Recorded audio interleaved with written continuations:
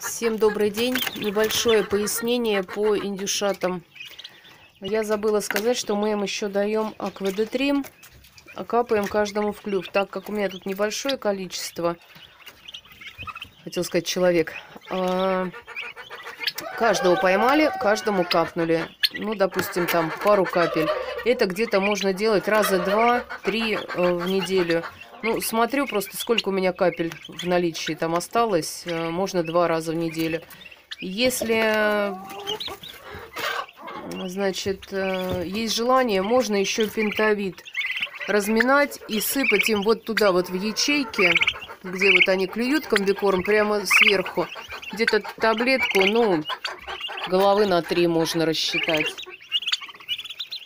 А так вот у них в основном я им даю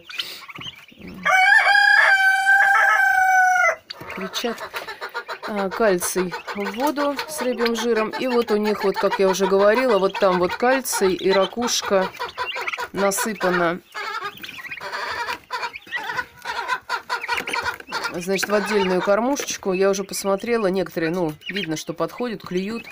Можно, кстати, вот это все, и ракушку, и кальций сыпать вот в ту кормушку. Ну, вот, вот в эту вот. Ну, мне больше нравится, когда вот в отдельной кормушечке. Вот видите, как лезут. Прямо готовы вылезти. Так, главное проверить, чтобы все было закрыто.